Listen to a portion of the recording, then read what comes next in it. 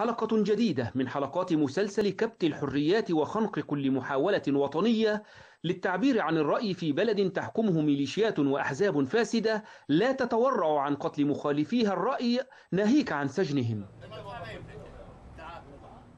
قانون جرائم المعلوماتية المطروح للتصويت في مجلس النواب به بعض المواد والفقرات التي يعدها محللون مفخخة لأنها تتضمن إجراءات خطيرة تسلب حرية التعبير من المواطن العراقي وتمنح السلطة صلاحيات واسعة لإصدار عقوبات تكمم الأفواه.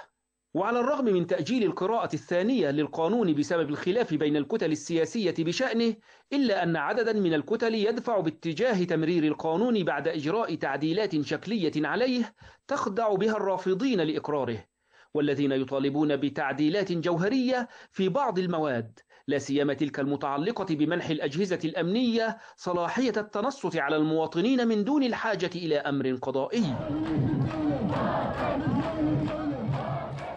ناشطون في التظاهرات يرون أن القانون خطير للغاية إذ أنه لو أقر فستسلب بموجبه إرادة الشعب وتتحول حريات التعبير إلى جرائم يحاسب عليها القانون.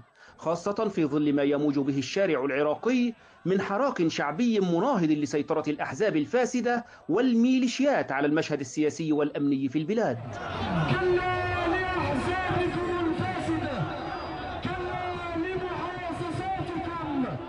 وأمام هذا التحدي الذي يستهدف قمع أي محاولة شعبية لإعادة زخم التظاهرات التي تأثرت كثيرا بتفشي وباء كورونا في البلاد يؤكد الناشطون أنهم سيعملون على مناهضة تمرير القانون وأن ساحات التظاهر سيكون لها القول الفصل في رفض كل ما من شأنه تكميم أفواه العراقيين وقمع حراكهم السلمي لإسقاط الفاسدين وإبعادهم عن مقاعد السلطة. وبحسب المحللين فإن أحزاب السلطة تحاول استغلال الهدوء النسبي للحراك بسبب وباء كورونا لتقييد أي إمكانية لاستعادة الزخم الثوري إلا أن هذه الخطوة قد تأتي بأثر عكسي.